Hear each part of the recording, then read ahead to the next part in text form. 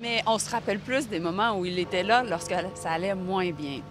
Et puis, d'un point de vue, juste de façon, euh, dans mes dossiers d'affaires étrangères, Brian était une inspiration parce que c'est lui qui a transformé en grande partie l'économie du Canada en faisant en sorte de, de, signer cet accord de libre-échange avec les États-Unis qui, qui, a été marquant pour notre histoire.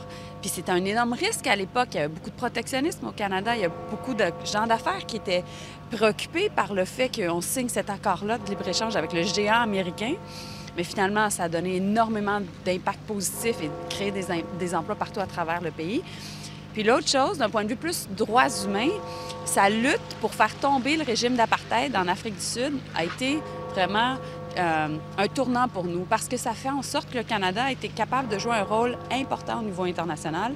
Et lorsque Nelson Mandela est sorti de prison, le premier pays où il a décidé de, faire un discours, ça a été le Canada, à cause de sa relation personnelle avec Brian Mulroney. Comme ministre des Affaires étrangères, vous aviez l'occasion de vous, de, vous parler, euh, lui et vous, à, plusieurs reprises? C'est sûr que lorsque j'ai été nommée, j'ai appelé plusieurs anciens premiers ministres et anciens ministres des Affaires étrangères. Et je voulais connaître un peu plus la relation. Bien, en fait, je voulais savoir de Brian quels étaient ses conseils sur comment gérer les États-Unis. Donc, on a eu plusieurs conversations là-dessus euh, et on s'est parlé à plusieurs reprises.